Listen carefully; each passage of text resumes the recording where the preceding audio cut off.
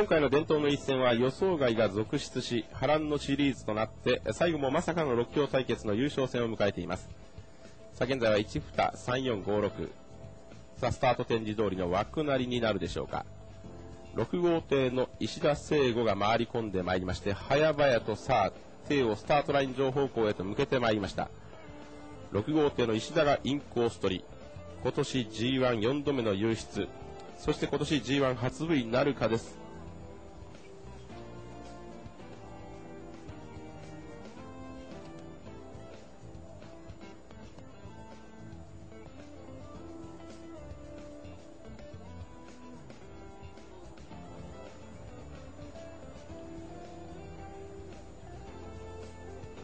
6番手閉館欠場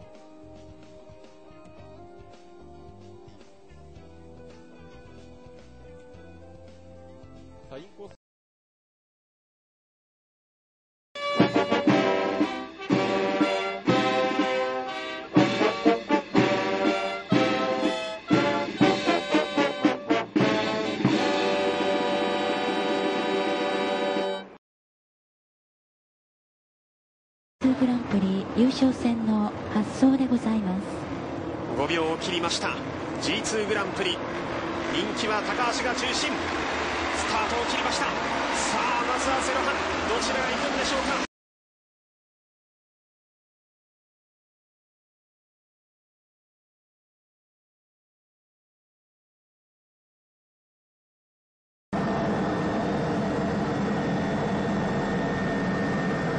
は4番の鈴木武史が枠番を主張する構えです。枠なりに作戦待機コードが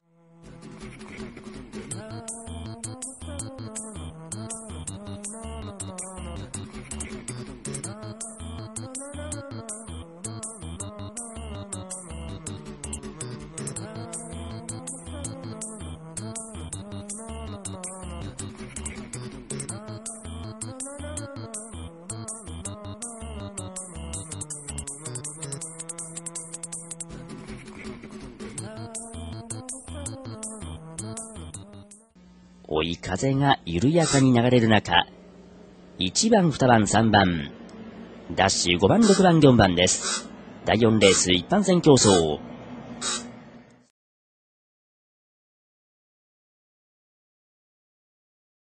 タートを切っていきます。さあ、内側2号艇、3号艇あたりが特に出しが乗った2号艇の池田篠が1号艇の三宅をまずは抑えた。丁寧にまくった。後方からは3号艇、5号艇でありますが、3号艇がブロック5号艇の横西を抑えるように大竹康香の差しのハンドル。3号艇、2号艇混戦状態で3番手5号艇の横西でバック中間ポイントを通過した。前提スタートは正常ですさ。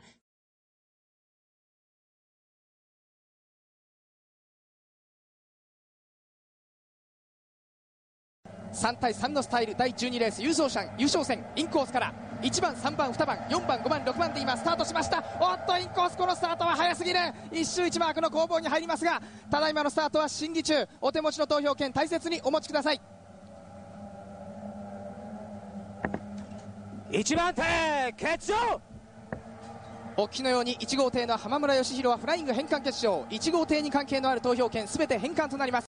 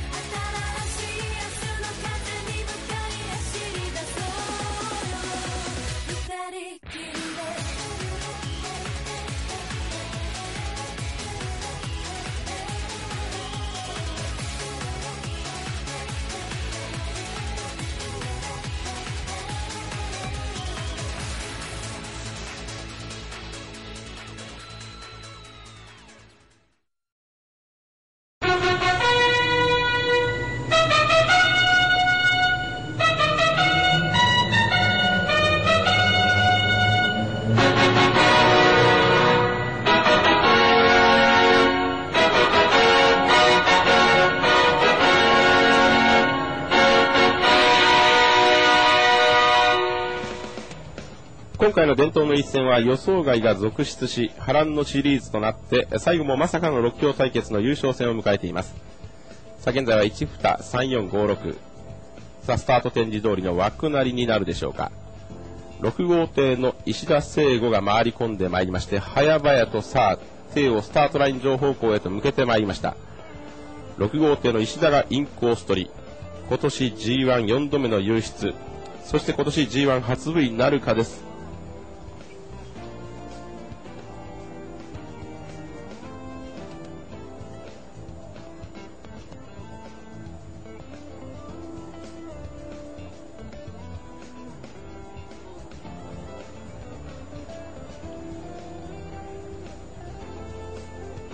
6番手閉館欠場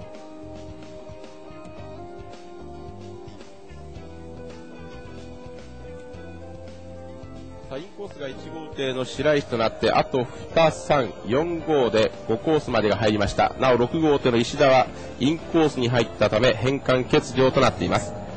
さあ優勝戦いよいよ進入開始です。インコースから1番、2番、3番、4番、5番2秒、1秒今スタートしていきました。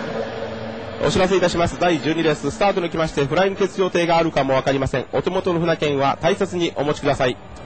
1番手2番手3番手フライング欠場。お知らせいたします。第12レースの優勝戦は1号艇の白石2号艇の辻3号艇の今垣がそれぞれフライング返還欠場です1番、2番、3番に関する船券は全てお返しいたします。大切にお持ちください。なお6号艇の石田も返還欠場となっています。さあ2艇が生き残って波乱に飛んだシリーズ。最後も大波乱。予想外の珍しい大波乱となっています。先頭に4号艇の宇野。そして2番手に5号艇の浜野屋と4号艇5号艇とこの2艇でバックスレッジに入っています。なお第12レースの優勝戦は1号艇の白石2号艇の辻3号艇の今垣がそれぞれフライング返還欠場。1番、2番、3番に関する船券は全てお返しいたします。そして6号艇の石田聖吾も返還欠場となっています。さあ直線構成と戻ってまいりまして先頭に4号艇の宇野そして2番手に5号艇の浜野屋と4号艇5号艇で最終周回へと入ります。第12レースは1号艇2号艇3号艇そして6号艇と返還欠場です。1番2番3番そして6番に関する船券は大切にお持ちください。さあ最後のバークスレッジ大波乱の最終決戦優勝戦。先頭は4号艇の宇野健太がこれで今年4回目住之江は2回目そして G1 は13回目の優勝が目前。これで G1 は連続優勝で賞金ランクもアップに成功となって波乱に飛んだシリーズ。最後は4号艇宇野健太の G1 連続優勝です。4号艇宇野健太優勝ゴール。